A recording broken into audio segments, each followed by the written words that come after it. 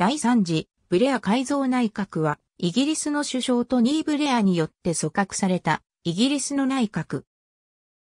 2006年5月5日に発足し、トニー・ブレア首相辞任後、2007年6月27日、ゴードン・ブラウン新政権の発足とともに解散した。組閣前日に行われた地方統一選挙における労働党の大敗北を受けての内閣改造であり、全内閣から大幅な人事異動を行った。これは、ブレア政権始まって以来の大改造であり、冷酷な人事とも言われた。閣内には、首相側近のブレア派と、ブラウン増省への政権前場を求めるブラウン派の間に亀裂が深まっており、ブレア首相は、側近のジョン・リード、アラン・ジョンソン、デイビッド・ミリバンドらを横滑りさせて、政権の安定化を図った。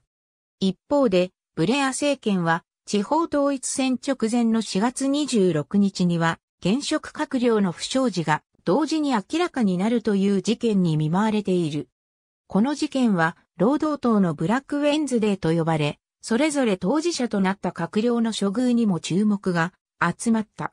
不倫騒動が発覚したジョン・プレスコットは、副首相の座には止まったものの権限を大幅に削られ、担当省と行政権限を持たない副首相となった。本来国外追放処分にするべき1000人近い外国人犯罪者を国内に釈放していたというスキャンダルを報道されたチャールズ・クラーク内務大臣は更迭され、後任にブレア派重鎮のジョン・リードが就任する。また、パトリシア・ヒューイット保健省も王立看護師学校で行った演説が非難を浴びていたが、結局留任となった。ありがとうございます。